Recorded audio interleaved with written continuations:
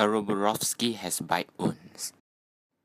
This is a Roborovski hamster, and it is well known for its speed. It is said to have run an equivalent of four human marathons each night on average. If healthy, one would not even be able to catch it. However, it seems lethargic now. What then is the cause for this particular hamster's lethargy?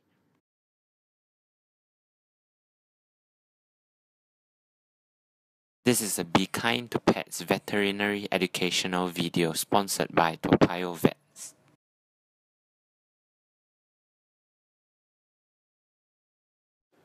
This male hamster was pestering its mate after it had just given birth to a litter of hamsters. The female hamster was obviously irritated and bit the male hamster. While this had happened before with the previous litters, it was much more severe this time and the owners brought him here to Dr. Sing at Toa Payoh Vets to treat his wound and see if there was anything severely wrong with him. He's been bitten by the female hamster, uh, and uh, so the, the bacteria started to spread, and then he fell ill. So he was really very lethargic. Uh, yesterday he came. This Roborovski hamster is one year old and is considered an adult. However, it only weighs 17 grams as compared to the normal weight of 20 to 25 grams. This hamster was bitten on its backside, but the infection has spread to his nose and his neck. The Roborovski hamsters are generally sociable, but at any point of time, aggression might occur. It is imperative to separate them if this occurs, as they might fight each other to death. So, did he lose appetite? Yeah, he lost appetite uh, after a while. For about about five weeks already. He, he, he don't eat a lot. He used to be quite big. Now he's like so small. Now, how many pieces of poo he, he put? Of poo? Ah, pieces of stew.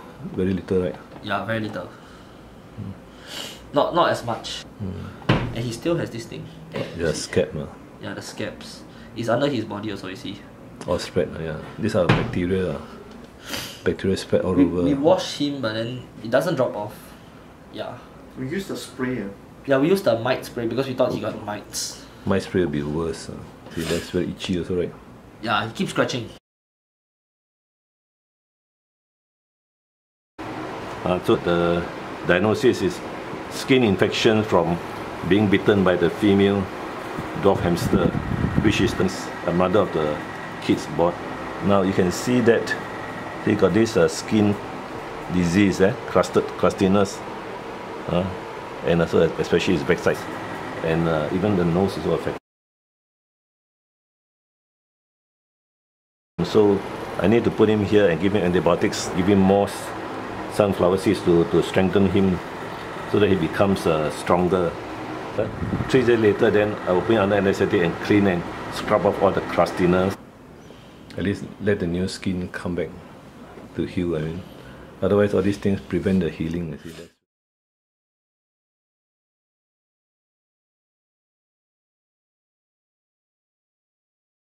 About five minutes.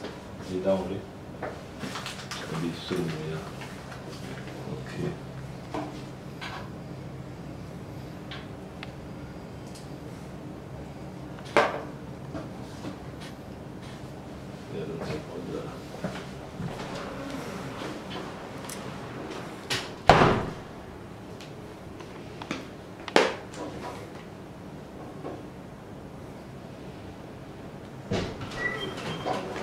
Down and pick up.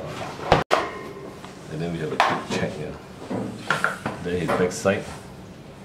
It's quite clean already, but we still clean it. That day was full of scab, then there's still some more scab here there. There are more scabs here actually there. Okay, get ready. Uh, this one we must remove, otherwise he can't he can't do it himself. Yeah.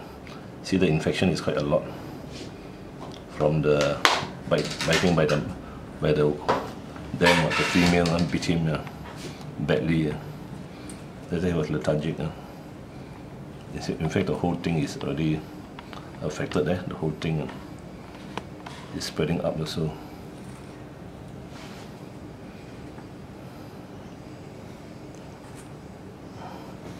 Ready anesthetic again.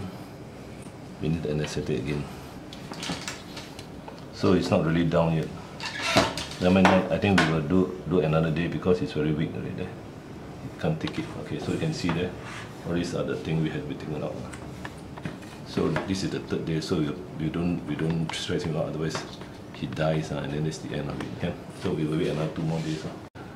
But you can see that the whole body is full of infection and the crustiness. There, all this. It will take some time with antibiotics. Okay. Uh, but as you can see today, after antibiotics, he really had an excellent appetite. He has eaten all his sunflower seeds. So his appetite has been much better after antibiotics, oral antibiotics huh? and painkillers. You can see he definitely has a good appetite.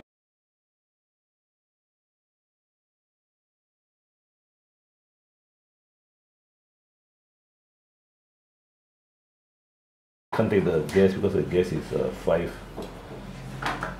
now when he's uh, when he's awake it's very hard to clean him because he's very active but you can see that the scabs are still there and only under anesthetic can we remove it remove as much as we can so we can send him home already of course the hair will come up because these are dead skin uh. these are dead skin it's like like in dogs and cats if you don't mm. hmm? Scream. Hmm? Okay, okay, we will just do the minimum, just bit by bit. Yeah, uh, we can't do much because the, the skin might break ulcers. Yeah. And then then see the the, the, the Okay, so so we can see these are the scabs, which you can't remove when he's very active. So this is about the most we can do, and then uh, he will go home and let him recover. Hamster skin infections can be due to bites when they are housed together. They may be the best of friends when young, but when they grow up, they may act hostile. The owner should separate them after they mature at around 2 months old. In addition, the owner should be observant of changes in hamsters, especially whether they have bite wounds.